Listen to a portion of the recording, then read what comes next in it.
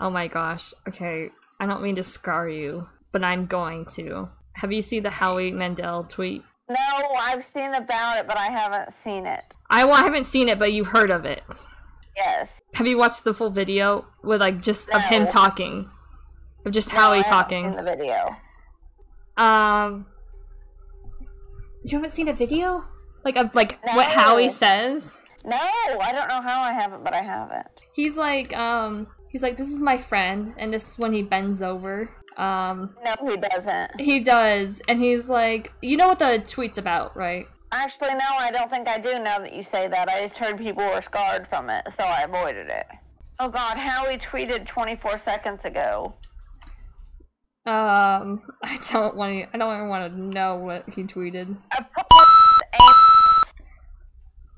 Babe, you're not supposed to say it on stream. Babe, you can't say that on stream.